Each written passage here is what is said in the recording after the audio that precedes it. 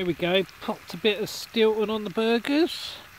And then I've got some, oh, that's a bit bright. Uh, got some uh, nice rolls there to put them in.